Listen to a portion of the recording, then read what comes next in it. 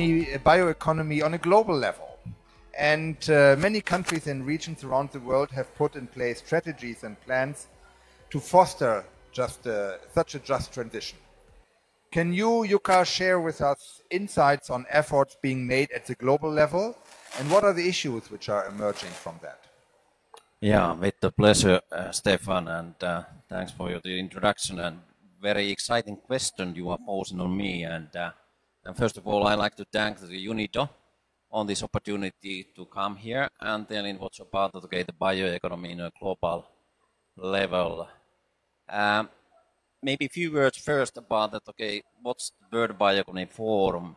Um, actually, I'm the founder of it uh, together with some co-founders from Indonesia and uh, from UK.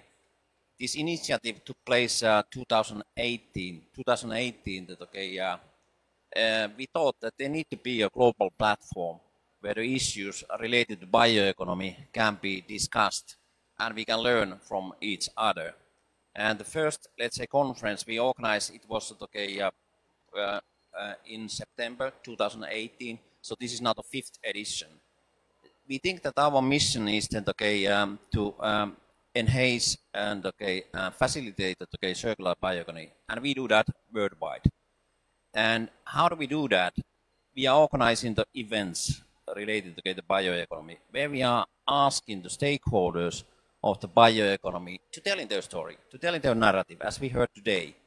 But we are doing that very systematic way. We do have a four-pillar system by which we are always evaluating the status of the bio bioeconomy. So we are organizing this kind of public event. You are all welcome to this event. Besides that, we do have a members, and for the members, we are organizing okay, the membership events, as we call it, okay, World Bioeconomy Circle. And you are all uh, welcome to join that initiative, to be part of that, uh, okay, uh, movement. And finally, okay, certainly we are then okay, providing okay, some advisory services on this field, as we are anyhow engaged fully on this, this topic.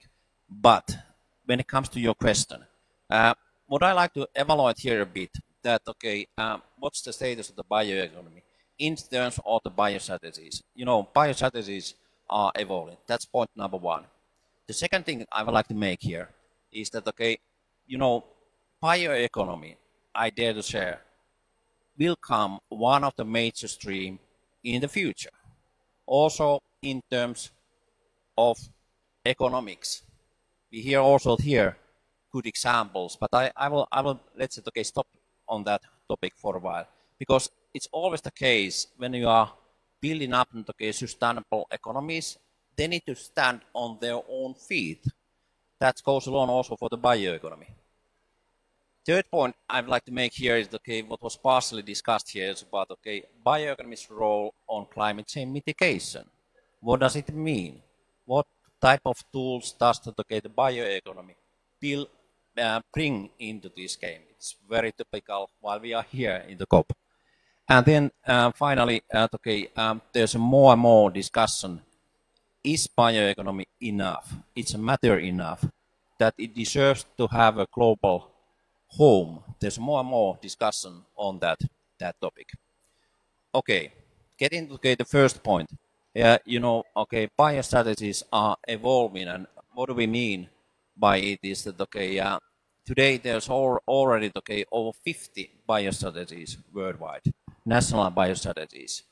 And on top of that, there are also countless number of, let's say, okay, regional biostrategies. It was referred also in this discussion. It's very important that we are having also regional biostrategies. Then you are taking account okay, okay, local circumstances and how well you are then okay, benefiting these uh, in a sustainable way. It is always a must. On top of that, on top of that, there are also biostrategies which are sort of accredited okay, uh, biostrategies.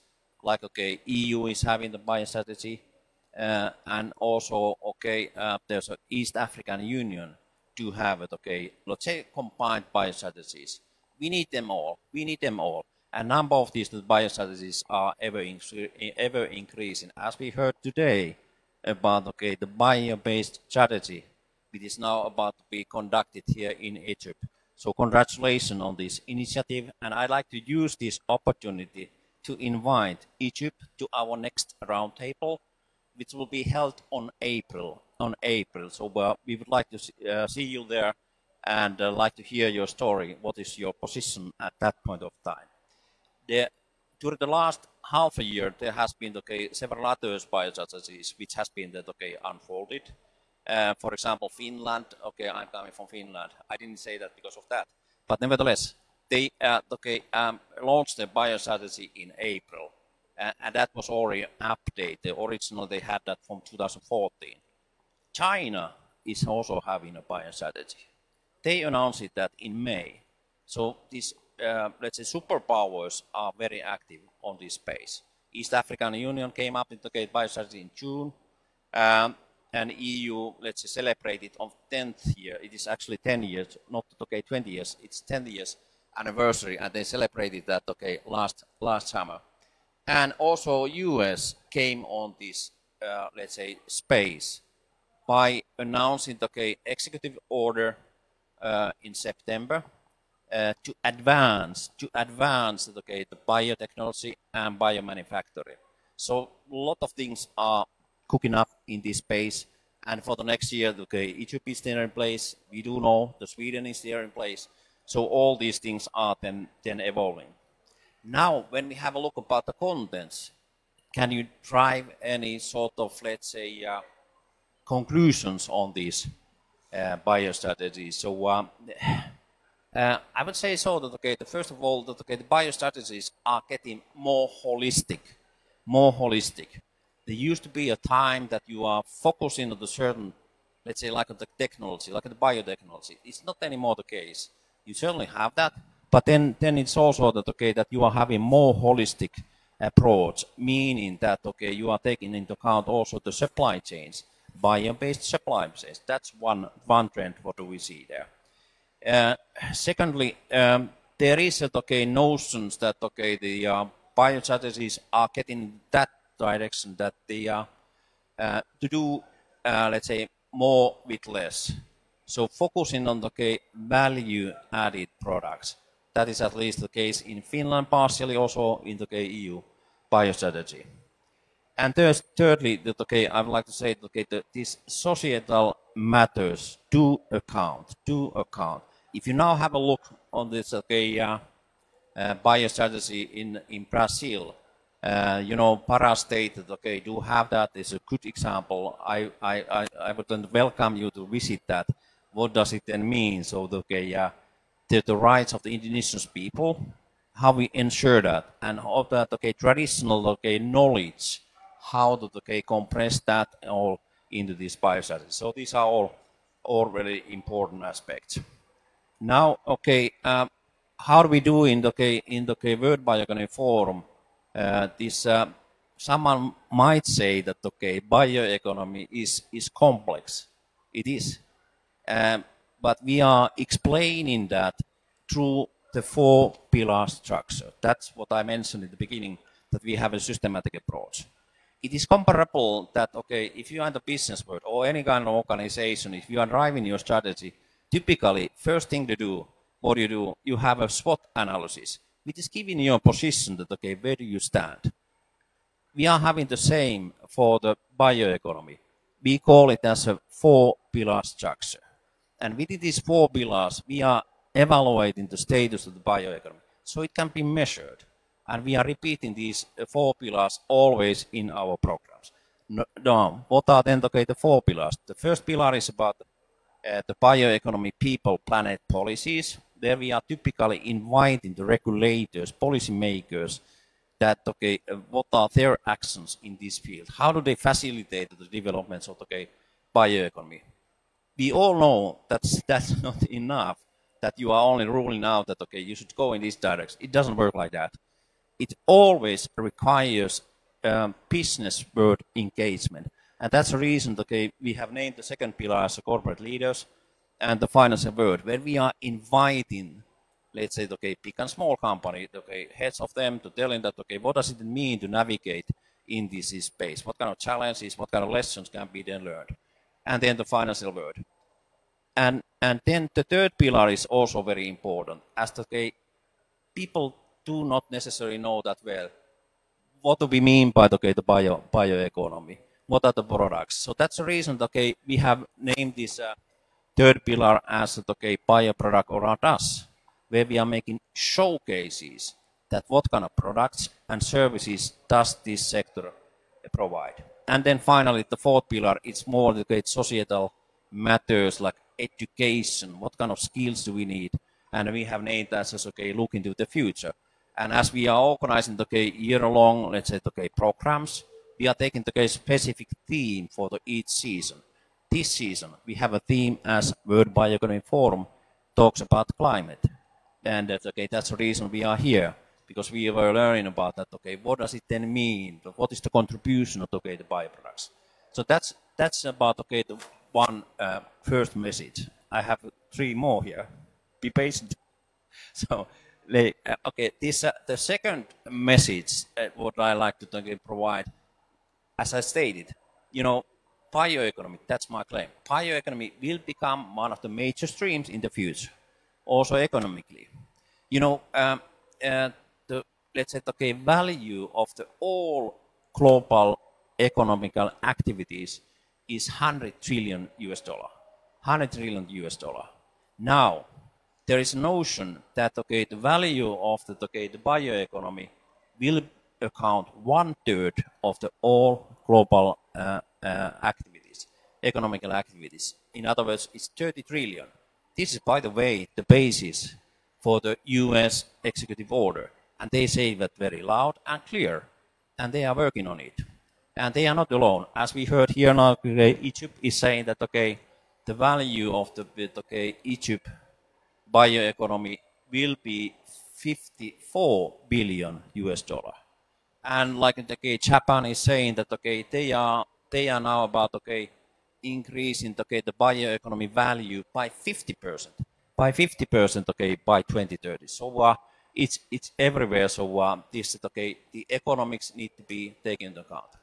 The third message I'm delivering here is that okay, what's the role of the bioeconomy uh, in the climate change mitigation? You know, uh, we revisited that uh, topic during this this season, and uh, what we can say that okay, that bioproducts are not incorporated in climate change mitigation at least in terms of regulative compliance market, nor voluntary carbon market. Still, like here in this panel, we are talking about, okay, yeah, okay, bioproducts do account. They are uh, mitigating climate change. But I'm afraid that's only talk in case it's not written in this okay, carbon market. It's not written in the okay, when it comes to okay, uh, compliance okay, uh, regulative um, or regulative compliance market. So, uh, but uh, how the bioproducts are then or bioeconomy to affect on the climate change mitigation? Let's say um, these all are let's say written now in our under the declaration. I don't read them all. I'd like to make two points of that. Uh, first of all, when you are making the bioproducts, that, okay, you are superseding okay, the fossil based uh, products. So there's a substitution effect. You, you, always, the last time that you make sub points, you're, you're the third point, you have now two sub points after the second point is okay. Okay, okay? good. Yeah, yeah. Okay, there we go. So okay, the substitution effect. So uh, that is the way. And our proposal here, our proposal here is that okay, when we are talking about carbon credit market, one day it's also our dream that okay, the carbon credits should be adhered also to bioproducts. So it will give a boost for okay, the need of the, okay, the bio uh, products. Finally, this is my final word. so that, okay, yeah. So uh, uh, there's more and more discussion. What I like to share here, you uh, uh, like it. Okay, this uh, is bioeconomy now, let's say, mature enough that is then okay deserving to have in a global home. We were talking like in this, let's say, okay panel about okay, what about okay, product acceptance, what about legislation, and these kind of topics is not only here in Egypt, it's everywhere the very same. And now when we compare this, okay, the role of the bioeconomy, in related to okay, climate change mitigation. There is a home for climate change mitigation, and it's called this COP, as we are here. And it's already, this is now the 27th round of it. And so there is a sort of meaningful convention where the issues are agreed in the global level. And the nations are then following that. And then finally, the, the uh, companies and the, the individuals, it's having an effect. And then there's, okay, there's also okay, the biodiversity, which is okay, uh, having a COP where the issues are discussed. These are the okay, two older brothers or sisters. The bioeconomy belong to the same family, but it doesn't have a voice yet. So that's the reason that okay, this will be then discussed. So uh, with these words, with these four points, uh, that is then okay, the status of the bioeconomy. So thanks, Stefan. Do you have uh, more questions? No, I, I just uh, actually I do.